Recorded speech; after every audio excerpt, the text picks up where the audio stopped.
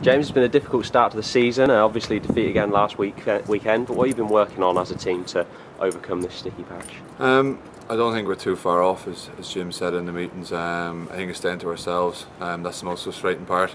It's not as if teams are um, creating so much. I think it's our own errors, really. You know, um, we're letting teams in for soft scores, and we just have to turn that around and get it right and uh, start this Friday. Does the narrow nature of the defeats show that the league's probably more competitive this season than it ever has been? Um, yeah, maybe, possibly. I suppose at World Cup as well, it's a, it's a nice leveller. Um, yeah, I think it's, it's definitely missing players, but a lot of teams are missing players as well. And uh, we've fought well in the summers, and our squad have got to step up, and it's a squad effort at the end of the day.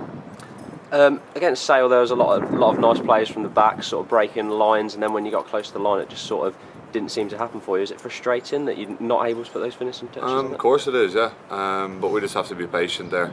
Sometimes we get a bit too excited when we get up there and we feel like we have to score our first phase or our second phase, and sometimes you have to break down teams, especially uh, nowadays this level.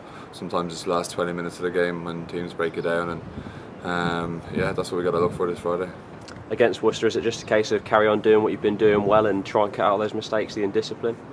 Um, yeah, that's that's one factor. Um, discipline's huge this week, especially with uh, Andy Goode kicking. He's a, he's a very good, consistent kicker. So um, we can't give away penalties like we have done, and uh, we can't make stupid errors like we have done. And we've talked about it. Lads have held their hands up, and sure it's part of rugby, and uh, we're a team, and uh, we've just got to get on with it. There's obviously a lot of guys missing, but I'm sure um, yourself and the other senior players in the squad, the new guys, are taking a lot of responsibility on themselves to uh, to not try and shift the blame. Of course, no, sure it's a it's a team game. If it was an individual sport, then it's different, but it's not. It's a team game, and everyone does it together. We win together, we lose together. So, um, just brings you tighter and makes us more determined for this week.